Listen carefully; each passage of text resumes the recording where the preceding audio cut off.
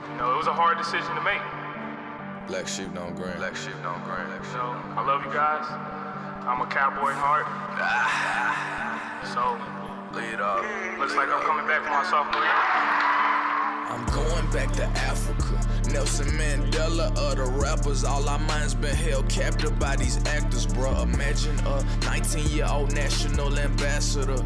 Gold medal winner, both competitive and passionate. Cast a shadow on your accolades just to attack you for the same things they praise you for.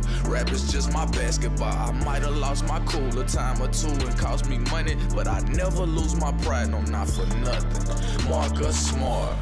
No, they rather label us as dummies. Sign my rights off to a label, then they make all of the money. That's funny. Same things going on in college athletics. It's a billion dollar industry those generating revenue, benefiting the league. Marcus Smart. No, they rather label us as dummies. Sign my rights off to a label, then they make all of the money.